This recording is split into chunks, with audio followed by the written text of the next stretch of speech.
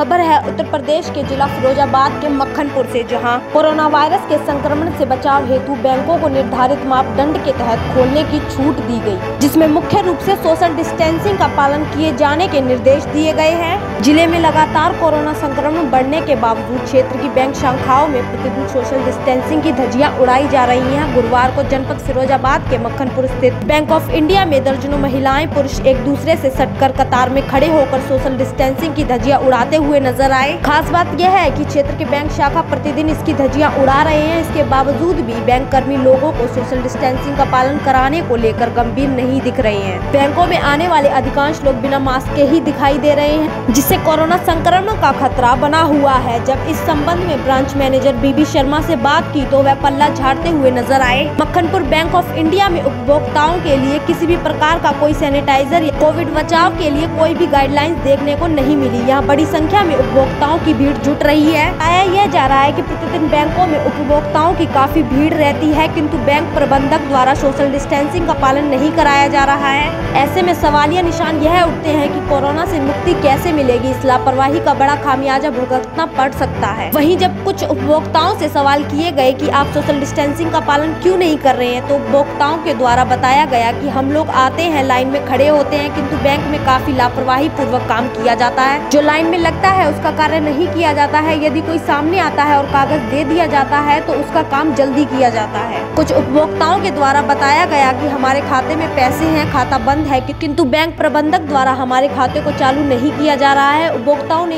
यह भी बताया कि मुकेश कुमार वर्मा तो महिलाओं, पुरुषों से अभद्र भाषा का प्रयोग करते हैं। ऐसे गरीब अपने खाते में पैसे रखकर अपना जीवन यापन कैसे करेंगे?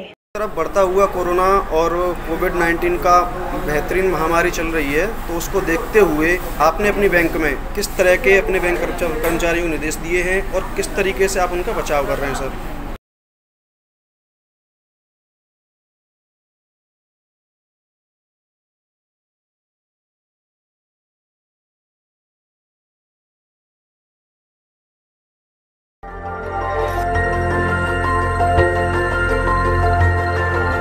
देखते रहिए डीबी भारती समाचार नज़र हर खबर पर।